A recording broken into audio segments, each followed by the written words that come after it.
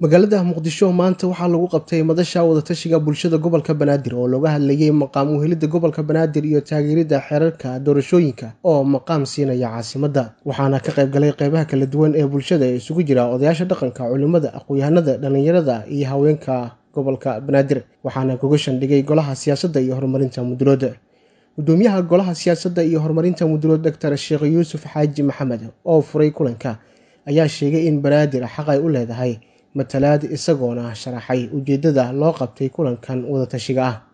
Waxaanu rabnaa banaadir oo ah state wax kale reer banaadir kuma qancaan.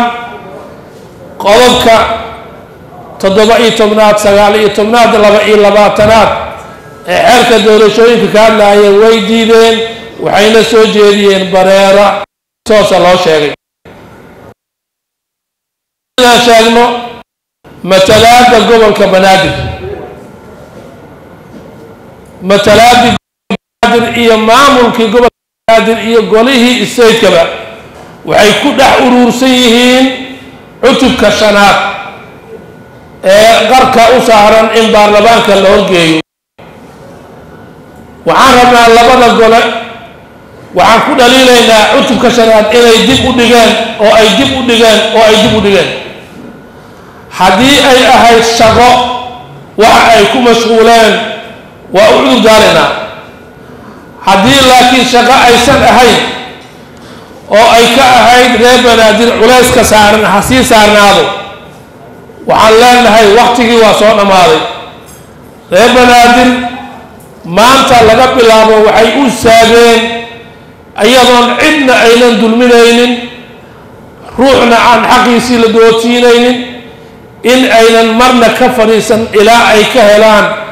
Banaadir state oo leh maamul la yidhaahdo maamulka banaadir state nabadoonnadii culimmadii waxgaradkii iyo haweenkii ka hadlay kulanka ayaa si isku mid ah u dalbaday in banaadir ay hesho maqaamkeeda. Madaxda dalka ayayna ugu baaqeen inay banaadir siiyaan waxa ay mudan tahay.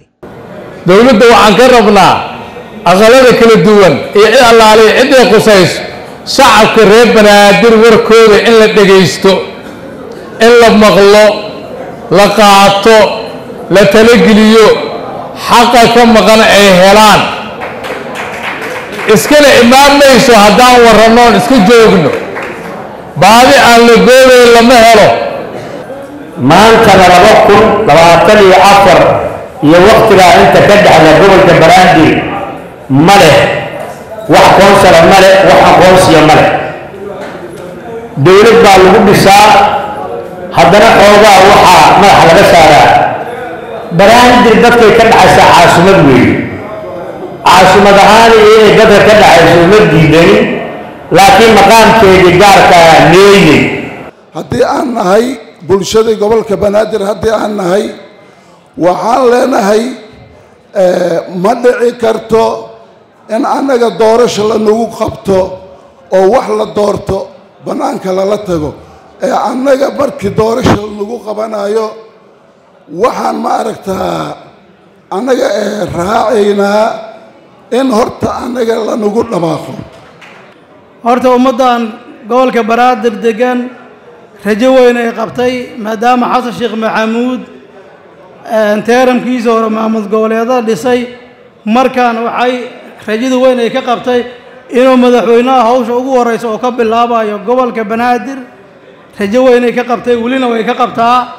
Waxaan diidannahay oo halka isugu nimid qodobada la horgeeyey golaha wasiirada golaha baarlamaanka ee ka hadlaya xuquuqda lagu duudsiinayo bulshada gobolka banaadir ayaan saaka isaga nimid inaan diidno waana diidannahay ma ogolin in la duud in la duudsiiyo xuquuqda gobolka banaadir.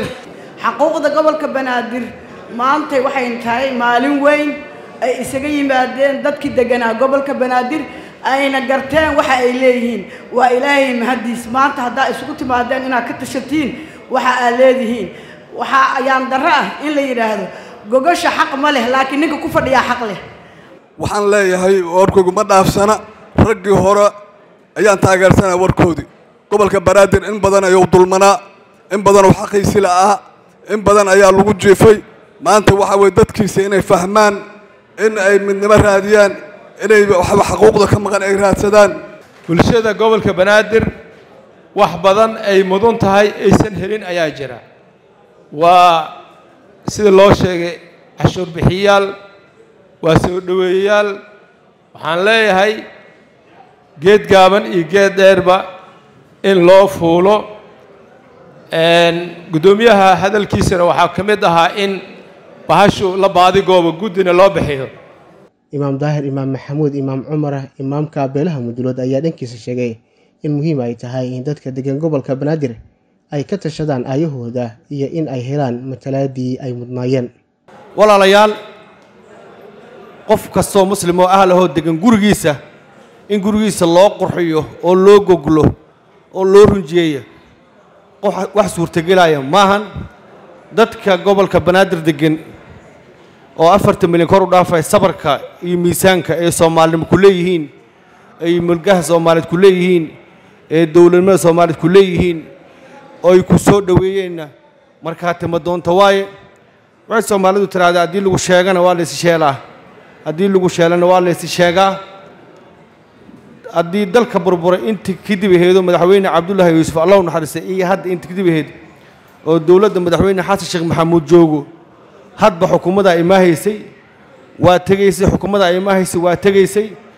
Dadka soomaaliyeed anay xoolahooda iyo xeenjurtoodii iyo dowladnimadooda ee dadka gobolka banaadir ay kor fuulaan ay u sabraan waan u sabri doonan.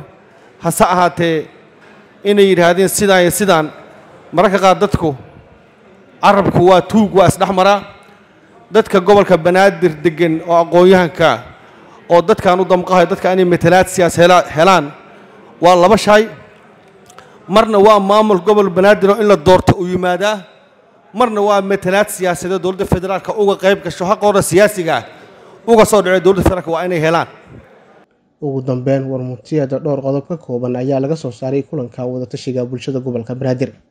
Bulshada gobolka banaadir waxay soo dhoweynaysaa oo garab istaag weyn u muujinaysaa qorshaha dowladda dhexe iyo dowlad goboleedyada ku aadan in dalka uu aado doorasho toos ah qof iyo cod ah kaasoo markaasi ku taageerayso bulshada gobolka banaadir ee garab istaag ugu tahay madaxweynaha dowladda federaalka soomaaliya doctor xasan sheekh maxamuud.